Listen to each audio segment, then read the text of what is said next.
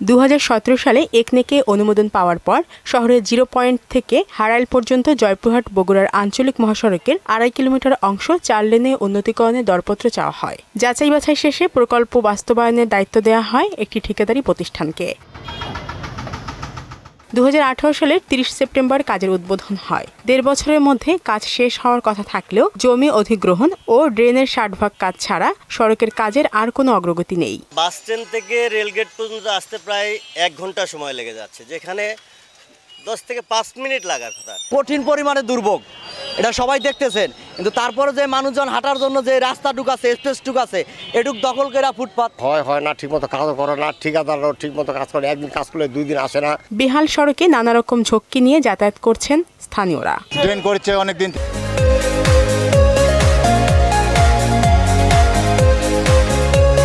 থেকে এই ট্রেন ঠিক মতন হবে কি হবে না? দুর্দশার মধ্যে আছে। রাস্তাঘাটে চলা মানুষ হাঁটতে পারতেছে না চলাফেরা করতে পারতেছে না। অনেক দিন থেকে দেখতেছি এর কাদা পানি হলে তো খুব কাদা আর এমনিতে তো চলাই যায় না। মেয়াদ শেষের পরও পেরিয়ে গেছে প্রায় চার বছর। তারপরও সড়কের কাজ শেষ না হওয়ায় বিরক্ত খোদ পুলিশ সুপারও। হিলি বন্দর থেকে এখানে প্রতিদিন দুই আড়াইশো ট্রাক আসে। সেগুলো আমরা শহরের বাইরে দিয়ে ডাইভারশনের ব্যবস্থা করে দিয়েছি। যাতে কোনো অবস্থায় শহরে যানজটের সৃষ্টি না হয়। কাজ শেষ না হওয়ার জন্য নানা রকম অজুহাত দিলেন সড়ক বিভাগের নির্বাহী প্রকৌশলী। কিছু স্থাপনা রয়েছে যেমন মসজিদ দোকান মার্কেট এগুলোকে আমাদের ক্রমান্বয়ে সরাতে হচ্ছে।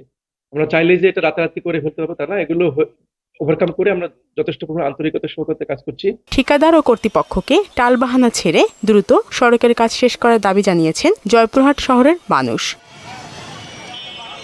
শারমিন স্বর্ণা মোহনা সংবাদ।